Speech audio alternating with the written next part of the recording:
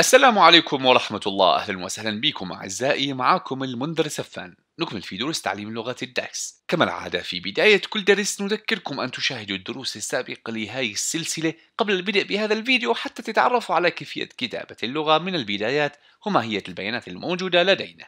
اليوم نأتي على اثنتين من أكثر المعادلات استخداما في أي لغة برمجة وهي دوال جمع الشروط AND و OR. فالكثير من المعادلات اللي اشتغلنا عليها سابقا واللي راح نشتغل عليها لاحقا تحتاج لفحص أكثر من شرط في نفس الوقت. فهنا نحتاج لدالة تجمع بين الشروط وهي الدالتين هي دالة AND لو أردنا فحص شرطين اثنين على أن يتحققا معا من أجل تنفيذ العملية. ودالة OR لو أردنا فحص شرطين اثنين وتنفيذ العملية في حال تحقق واحد منهم على الأقل. يا هل ترى في هذين الدالتين فقط شرطين أقدر أحط؟ دعونا نتابع حتى نعرف كل شيء عن استخدامهما فلو أخذنا المثال التالي لدينا هنا هذا الجدول الخاص بالموظفين ونريد أن نمنح مكافأة مالية بقيمة 100 لمن يعمل بطبيعة عمل دوام كامل أي full time وله في هذه المؤسسة أكثر من سنة بالتالي لدينا هنا أكثر من شرط يجب أن يتحققا معا حتى نمنح المكافأة. فهنا تأتينا الدالتين إما AND أو OR وباعتبار نريد لجميع الشروط أن يتحققوا حتى ننفذ العملية فتكون الدالة هي دالة AND بالتالي تكون المعادلة بهذا الشكل. if حاليا لازم نحط الشرط ضمن دالة if وهون أنا لدي أكثر من شرط يجب أن يتحققوا وليس شرط واحد.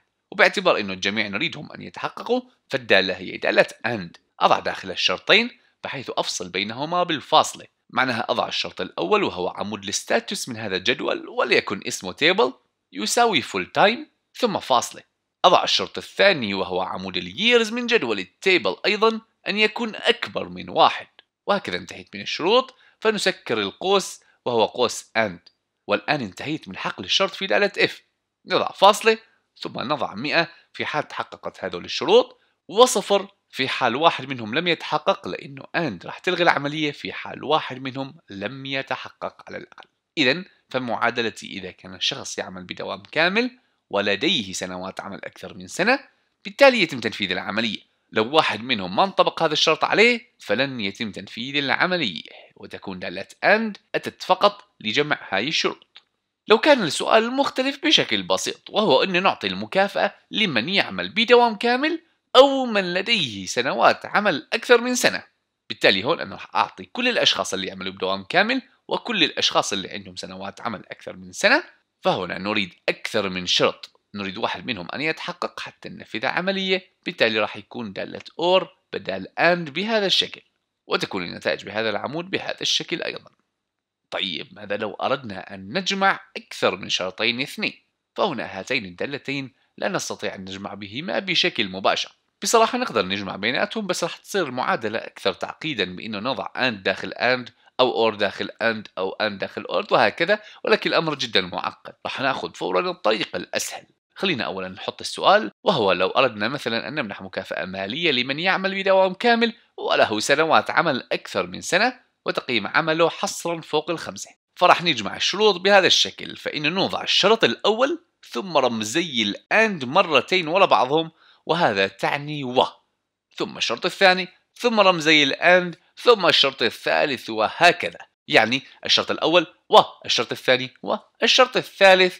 إذا اتطبقوا كلهم راح ننفذ العملية. إذا لو كان لدينا أكثر من شرط ونريد أن يتحققوا جميعا حتى ننفذ العملية فنضع الشروط مباشرة ونفصل بين كل شرط والثاني برمز الأند مرتين وهي تعني و. بالتالي ننفذ العملية فقط لو يتحققوا جميعا مع بعض. أما لو أردنا أن تنفذ العملية بتحقق شرط واحد على الأقل فهنا نستخدم دالة OR وشكل رمزها هو العصا الشاقولية مرتين بهذا الشكل وهي تعني إذا تحقق الشرط الأول أو الشرط الثاني أو الشرط الثالث فقم بتنفيذ العملية والعملية هون إنه نضع 100 وهذه هي طريقة الرموز لدالتي AND و OR وبصراحة أنا أعتبر أنه هذا الاستخدام هو أفضل من أنه نستخدم الدوال بأنه نضع أول شيء OR أو AND ونفتح القوس ونفصل بين الشروط بالفاصلة. فهون كسياق بفهم المعادلة أفضل أنه نقول الشرط الأول والشرط الثاني والشرط الثالث. أو لو OR أنه الشرط الأول أو الشرط الثاني أو الشرط الثالث. وهاي أنا أشوفها أنه أفضل بالسياق. إذا هذه هي طريقة الاستخدام لجمع الشروط لو كان لدي أكثر من شرط. لو كان شرطين نستطيع استخدام إما الرموز أو الدوال بينما لو كان أكثر من شرطين فلا نستخدم بشكل مباشر إلا الرموز. وأنا أنصح أنه نشتغل مع الرموز على طول. خلينا نأخذ مثال حي ومباشر على برنامج Power BI نروح اذا على البرنامج وخلينا مباشر ننتقل لحقل ال data من اليسار. نتأكد كمان عنا إنه نحن بالجدول الصحيح من على اليمين ننقر على جدول ال needs ونسأل السؤال. مثلا لو أردنا تصنيف هاي العوائل اللي عندنا إياها بين السطور نريد تصنيفهم العوائل المحتاجه للإعانة وعوائل ليست بحاجة للإعانة. فمثلا إنه نقول إذا كانت المعيل هي الأم أو تعيش هاي العائلة في خيمة أو العائلة ليس لها عمل فهي العائلة تكون محتاجة. فهون أصبح لدينا ثلاثة شروط وتعتبر العائلة محتاجة لو تحقق واحد منهم على الأقل. يعني تكون محتاجة لو الأم هي المعيل أو تعيش هذه العائلة في خيمة أو ليس لديها عمل فهنا نستخدم OR اللي تطبق العملية لو تحقق واحد منهم على الأقل. نفتح عمود جديد من قائمة modeling ونكتب المعادلة. أول شيء نكتب اسم العمود وليكن family status. يساوي if أولا نحتاج للشرط واللي هو مجموعة من الشروط. نريد واحد منهم أن يتحقق على الأقل.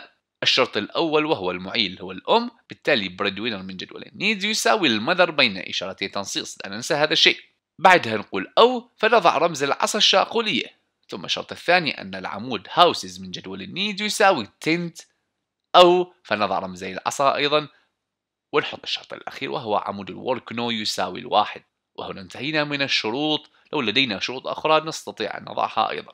الآن باعتبار انتهينا نكمل في دالة if فنحط فاصلة ونضع كلمة محتاجة بين إشارتي تنصيص ثم فاصلة نضع غير محتاجة أيضا بين إشارتي تنصيص. وهذه هي إذا كانت المعيلة العائلة هي الأم أو تعيش في خيمة أو ليس لديها عمل فستكون محتاجة وإلا فهي غير محتاجة. بالضغط على Enter نحصل على النتائج المرجوة. ولو أردنا أنه جميع الشروط لازم يتحققوا حتى تتنفذ العملية فبدل رمز العظا نستخدم رمز ال AND مرتين كما قلنا.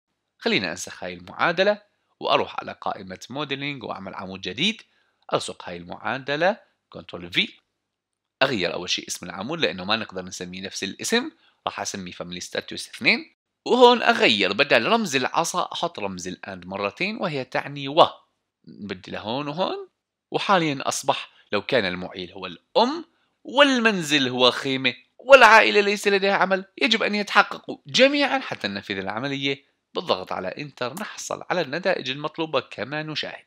بهذا الشكل نستخدم دالتي AND و OR الأمر ليس فقط ضمن دالة if نحن استخدمنا هذه الدالتين أيضا مع دالة فلتر سابقا. وضعت لكم رابط الدرس في وصف الفيديو أيضا. وتذكروا دائما متى ما واجهنا بأي دالة إنه نريد نجمع أكثر من شرط فنستخدم إحدى الدالتين. AND لو أردت الجميع أن يتحققوا وأور لو أردت واحد منهم فقط أن يتحققوا حتى أنفذ العملية. هذا هو درسنا لليوم وهو جمع الشروط عن طريق و OR هذا الدرس أعتبره درس مهم جدا لأنه كثير راح نشتغل عليه في بقية المعادلات اللاحقة إن شاء الله. أتمنى أن يكون هذا الدرس مفيد لكم أعزائي. إذا أعجبكم هذا الفيديو ضعوا الإعجاب عليه ولا تنسوا الاشتراك بالقناة وتفعيل الجرس حتى يصلكم كل جديد عن هذه الدروس. لكم مني كل التحية كان معكم المنذر سفان والسلام عليكم ورحمة الله وبركاته.